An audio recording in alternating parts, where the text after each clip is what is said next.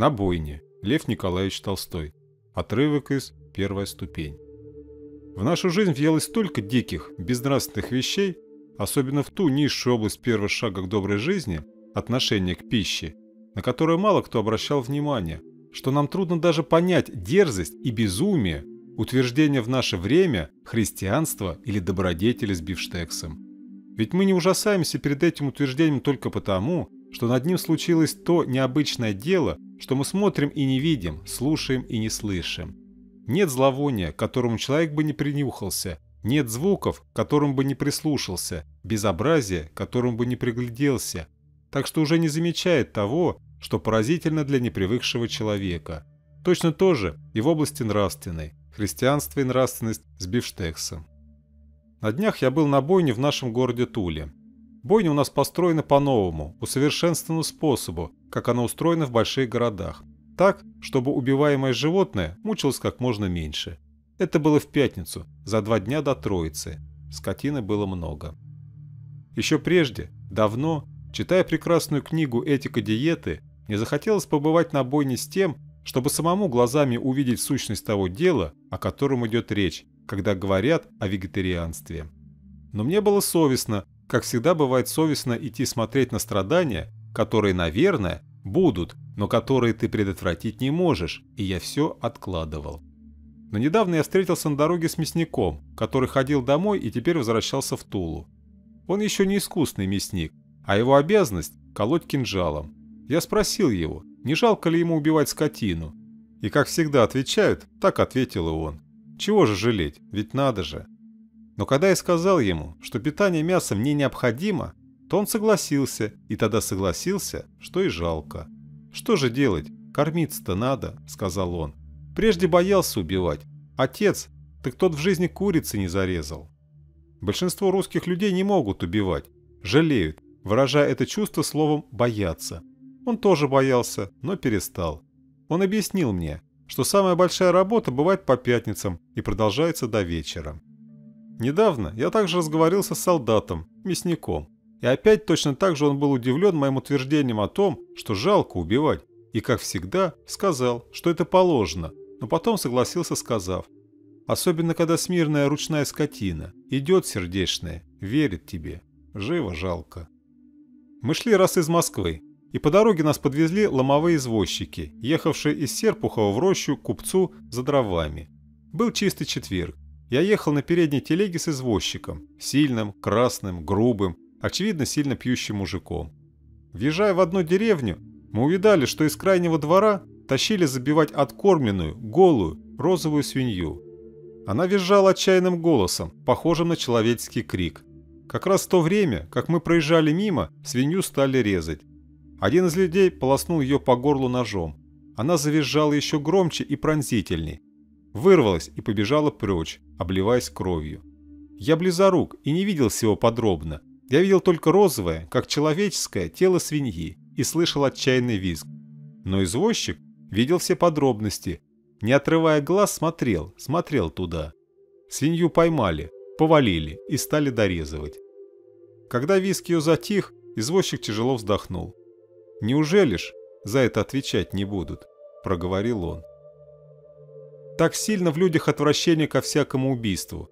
Но примером, поощрением жадности людей, утверждением о том, что это разрешено Богом, и, главное, привычкой, людей доводят до полной утраты этого естественного чувства. В пятницу я пошел в Тулу и, встретив знакомого мне кроткого доброго человека, пригласил его с собой. Да, я слышал, что тут хорошее устройство, и хотел посмотреть. Но если там бьют, я не войду. Отчего же? Я именно это-то и хочу увидеть, говорит Толстой. Если есть мясо, то ведь надо и забивать. Нет-нет, я не могу, отвечал знакомый. Замечу при этом, что этот человек – охотник и сам убивает птиц и зверей. Мы пришли. У подъезда уже стал чувствителен тяжелый, отвратительный гнилой запах столярного клея или краски на клею. Чем дальше подходили мы, тем сильнее был этот запах. Строение – красное, кирпичное, очень большое, со сводами и высокими трубами. Мы вошли в ворота. Направо был большой, в одну четвертую десятины, огороженный двор. Это площадка, на которой два дня в неделю пригоняют продажную скотину, и на краю этого пространства домик дворника. Налево были, как они называют, коморы, то есть комнаты с круглыми воротами, с асфальтовым вогнутым полом и с приспособлениями для подвешивания и перемещения туш. У стены домика направо, на лавочке, сидело человек шесть мясников в фартуках, залитых кровью, засученными, забрызганными рукавами на мускулистых руках. Они с полчаса как закончили работу, так что в этот день мы могли видеть только пустые коморы. Несмотря на открытые с двух сторон ворота, в коморе был тяжелый запах теплой крови, пол был весь коричневый, глинцевитый, и в углублениях пола стояла сгущающаяся черная кровь. Один из мясников рассказал нам, как забивают, и показал то место, где это производится. Я не совсем понял его и оставил ложное, не очень страшное представление о том, как бьют, и думал, как это часто бывает, что действительность произведет на меня меньшее впечатление, чем воображаемое. Но я в этом ошибся. В следующий раз я пришел на бойню вовремя. Это было в пятницу, перед Троицыным днем. Был жаркий июньский день. Запах клея, крови был еще сильнее и заметнее утром, чем в первое мое посещение. Работа была в самом разгаре. Вся пыльная площадка была полна скота, и скот был загнан во вне загона около комор. У подъезда на улице стояли телеги с привязанным грядами и оглоблями быками, телками, коровами. Полки, запряженные хорошими лошадьми, с навальными живыми, болтающимися свесившимися головами, телятами, подъезжали и разгружались, и такие же полки с торчащими и качающимися ногами туш быков, с их головами, ярко-красными легкими и бурыми печенками отъезжают от бойни. У забора стояли верховые лошади гуртовщиков. Сами гуртовщики, торговцы в своих длинных сюртуках, с плетями и кнутами в руках ходили по двору, или помечая мазками дегтя скотину одного хозяина, или торгуясь, или руководя переводом валов с быков с площади в те загоны, из которых скотина поступала в самые коморы. Люди эти, очевидно, были все поглощены денежными оборотами, расчетами, и мысль о том, что хорошо или нехорошо убивать этих животных, была от них так же далека, как мысль о том, каков химический состав той крови, которой был залит пол коморы. Мясников никого не видно было на дворе, все были в коморах, работая. В этот день было убито около ста штук быков. Я вошел в комору и остановился у двери. Остановился я и потому, что в коморе было тесно от передвигаемых туш, и потому, что кровь текла внизу и капала сверху. И все мясники, находившиеся тут, были измазаны ею. И войдя в середину, я непременно измазался бы кровью. Одну подвешенную тушу снимали, другую переводили к двери, третья, убитый вол, лежал белыми ногами кверху, и мясник сильным кулаком подпарывал растянутую шкуру. Из противоположной двери той, у которой я стоял, в это же время вводили большого красного сытого вала. Двое тянули его. И не успели они ввести его, как я увидал, что один мясник занес кинжал над его шею и ударил. Вол, как будто ему сразу подбили все четыре ноги, грохнулся на брюхо. Тотчас же перевалился на один бок и забился ногами и всем задом. Тотчас же один мясник навалился наперед быка с противоположной стороны его бьющихся ног, ухватил его за рога, прыгнул ему на голову, пригнул ему голову к земле, и другой мясник ножом разрезал ему горло. Из-под головы хлынула черно-красная кровь, под поток которой измазанный мальчик подставил жестяной таз. Все время, пока это делали, вол не переставая дергался головой, как бы стараясь подняться, и бился всеми четырьмя ногами в воздухе. Таз быстро наполнился, но вол был жив, и тяжело нося животом, бился задними и передними ногами, так что мясники сторонились его. Когда один таз наполнился кровью, мальчик понес его на голове в альбуминный завод. Другой подставил другой таз, и тот стал наполняться. Но вол все так же носил животом и дергался задними ногами. Когда кровь перестала течь, мясник поднял голову вала и стал снимать с нее шкуру. Вол продолжал биться. Голова оголилась и стала красной с белыми прожилками и принимала то положение, которое ей давали мясники. С обеих сторон ее висела шкура. Вол не переставал биться. Потом другой мясник ухватил быка за ногу, надломил ее и отрезал. В животе и остальных ногах еще пробегали содрогания. Отрезали и остальные ноги и бросили их туда, куда кидали ноги валов одного хозяина. Потом потащили тушу к лебедке и там распяли ее. И там движения уже не было. Так я смотрел из двери на второго, третьего, четвертого вала. Со всеми было то же. Также снятая голова с закушенным языком и бьющимся задом. Разница была только в том, что не всегда сразу попадал боец в то место, от которого вол падал. Бывало и так, что мясник промахивался, и вол скидывался, ревел, и, обливаясь кровью, рвался из рук. Но тогда его притягивали под брус, ударяли другой раз, и он падал. Я зашел потом со стороны той двери, в которую вводили. Тут я увидел тоже, только ближе и потому яснее. Я увидел тут главное то, чего я не видал из первой двери. Чем заставляли входить валов в эту дверь. Всякий раз, как брали вала из загона и тянули его спереди на веревке, привязанной за рога, вол, чуя кровь, упирался, иногда ревел и пятился. Силой втащить двум людям его было нельзя, и потому всякий раз один из мясников заходил сзади, брал вала за хвост и винтил хвост, ломая репицу, так что хрящи трещали, и вол подвигался. Кончили валов одного хозяина, повели скотину другого. Первая скотина из этой партии другого хозяина был не вол, а бык. Породистый, красивый, черный, с белыми отметинами и ногами. Молодое, мускулистое, энергичное животное. Его потянули. Он опустил голову к низу и уперся решительно. Но шедший сзади мясник, как машинист берется за ручку свистка, взялся за хвост. Перекрутил его, хрящи хрустнули. И бык рванулся вперед, сбивая тащивших за веревку людей и опять уперся, косясь черным, налившимся в белке кровью глазом. Но опять хвост затрещал, и бык рванулся, и уже был там, где и нужно было. Боец подошел, прицелился и ударил. Удар не попал в место. Бык подпрыгнул, замотал головой, заревел и весь в крови вырвался и бросился назад. Весь народ в дверях шарахнулся, но привычные мясники с молодцеватостью выработанной опасностью, живо ухватили веревку. Опять хвост и опять бык очутился в коморе, где его потянули головой под брус, из-под которого он уже не вырвался. Боец живо примерился в то же место, где расходятся звездой полосы, и, несмотря на кровь, нашел его, ударил, и прекрасная, полная жизни скотина рухнула и забилась головой, ногами, пока ему выпускали кровь и свежевали голову. «Вишь, проклятый черт, и упал-то куда не надо!» Ворчал мясник, разрезая ему кожу головы. Через пять минут торчала уже красная, вместо черной голова без кожи, стеклянно остановившимися глазами, такими красивыми цветом блестящими за пять минут тому назад. Потом я пошел в то отделение, где режут мелкий скот. Очень большая комора, длинная, с асфальтовым полом и со столами со спинками, на которых режут овец и телят. Здесь уже кончилась работа. В длинной коморе, пропитанной запахом крови, было только два мясника. Один надувал в ногу уже убитого барана и похлопывал его ладонью по раздутому животу. Другой, молодой малый, в забрызганном кровью фартуке, курил загнутую папироску. Больше никого не было в мрачной, длинной, пропитанной тяжелым запахом коморе.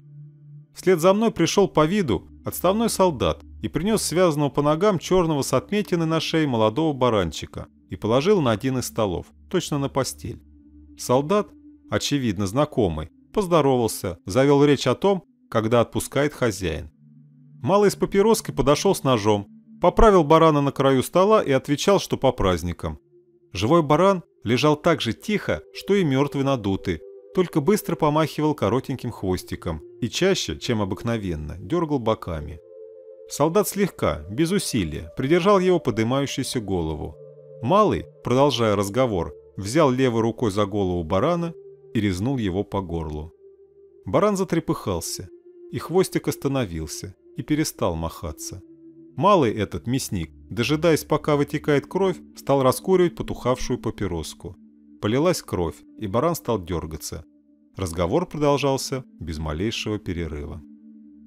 А как же те куры, цыплята, которые каждый день в тысячах кухонь со срезанными головами, обливаясь кровью, комично страшно прыгают, скидывая крыльями?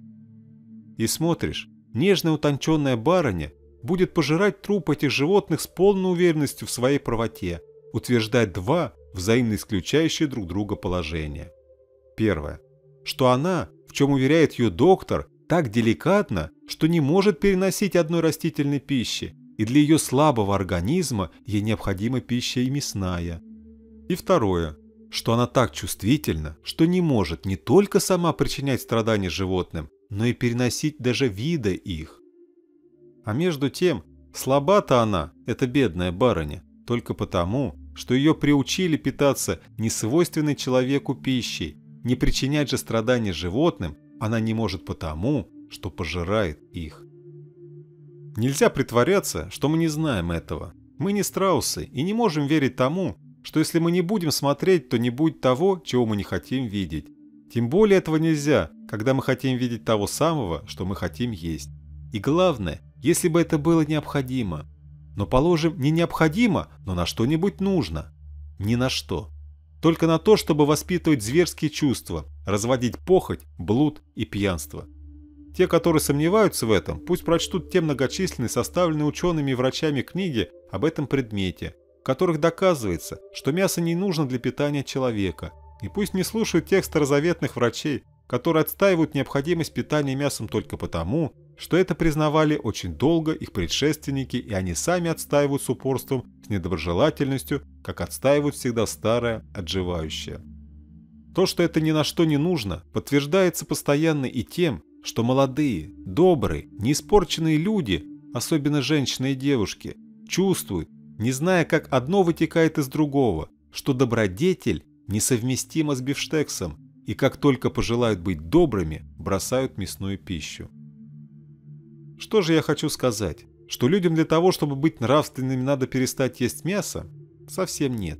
Я хотел сказать только то, что для доброй жизни необходим известный порядок добрых поступков, что если стремление к доброй жизни серьезно в человеке, то оно неизбежно примет известный порядок, и что в этом порядке первой добродетелью, над которой будет работать человек, будет воздержание, самообладание.